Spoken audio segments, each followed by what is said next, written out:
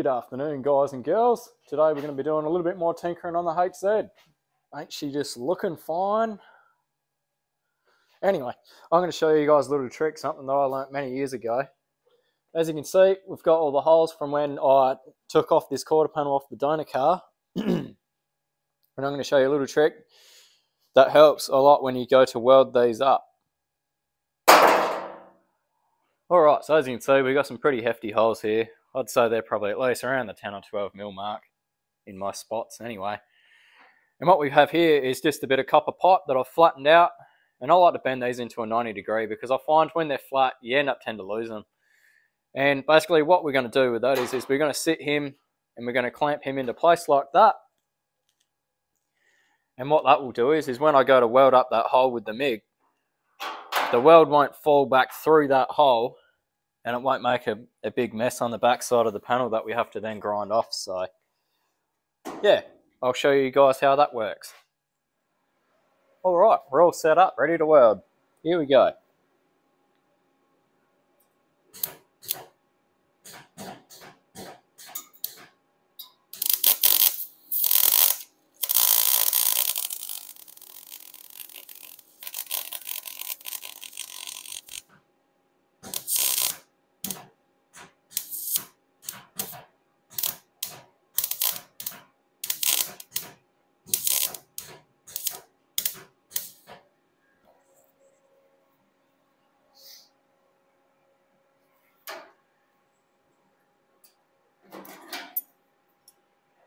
Probably should have actually tested the welder before I started welding the panel, but it was close, just not close enough. So unfortunately the wire speed was a little bit down. Nothing stuck on that. No big blob of weld back there. So that'll linish off pretty easily. And we've still got plenty of weld on this side so we can grind both sides flat and everyone would be none the wiser. And now that we've got that out the way, I can chuck you back on the time lapse and do the rest of these.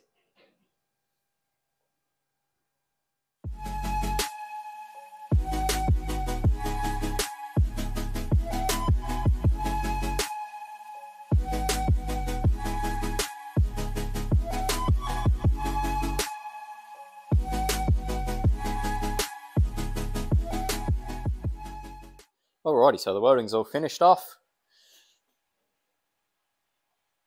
Not the prettiest looking under there. I didn't really do a whole lot of cleanup, so words aren't quite really the best. And obviously the uh, filling up such a large hole, you're always going to have, you know, a bit of a daggy looking weld, but I'm not too worried about that.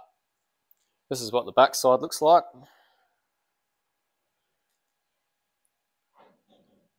I did have a little bit of the copper stick in a few spots, but I think that was just because it was getting so hot, it was actually uh, starting to bite into the weld, but that's fine.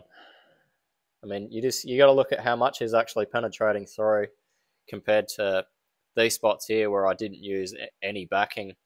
So, yeah, that's going to save me a little bit more time. Um, obviously, cleaning up inside there, which is always always a good thing. Anyway, I'll uh, dig into those and get all that cleaned up.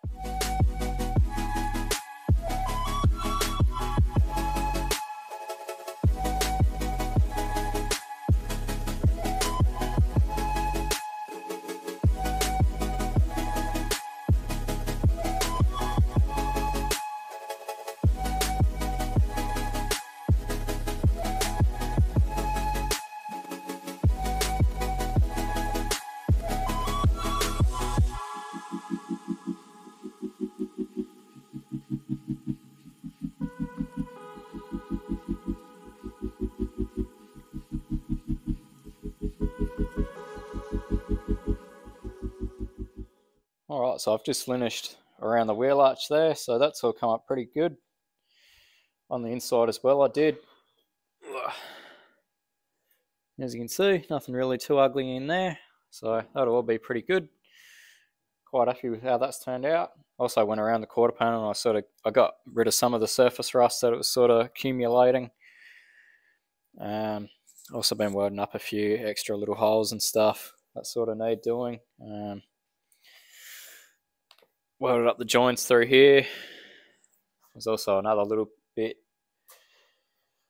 Where was that? That was inside here. Still need to clean up the backside for that. That was just um, a little piece that got missing uh, when I took it off the donor car. So obviously needed to fill in that gap. But now what I'm going to do is, is I'm going to start filling in this aerial hole and I will actually film this and I'll show you guys how I do that.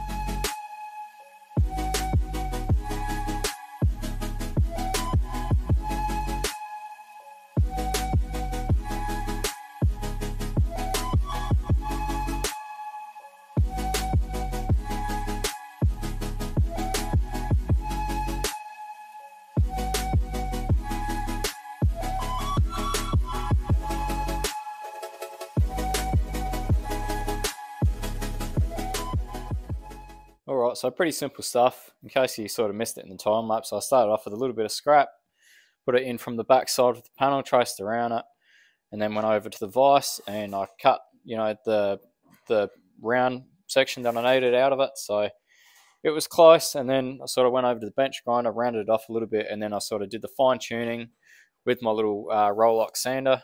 Um, and yeah, that's pretty much where we are now. I used a little magnet just to hold the hold it in from the backside I got one tack on it and then I hammered it up so it was flush. So yeah, that's really the main important thing is to uh, is to make sure your patch panel is always as flush as possible.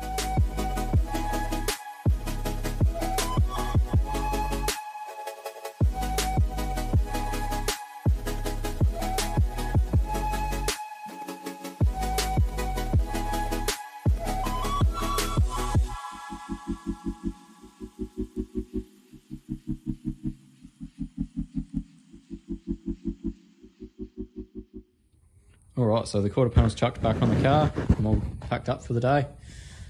That's come up looking all right. Not too bad. I can live with that.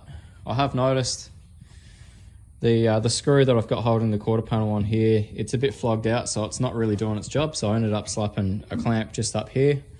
And I've noticed it's sort of pulling the quarter panel in just a little bit, which tells me that the weld through here needs to be a little bit more stretched. Um, not a big deal, but you know, I'd rather find it now. But um, yeah, I'm really happy with the rest of the quarter panel so far. So um, yeah, obviously it's uh, it's coming along. Um, quite happy with everything. So yeah.